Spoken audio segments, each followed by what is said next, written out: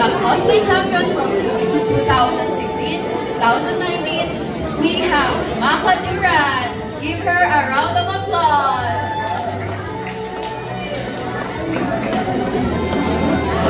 Next up, we have the cosplayer who's known for his outstanding cosplay career and past cosplay catwalk judge last February, Fielde.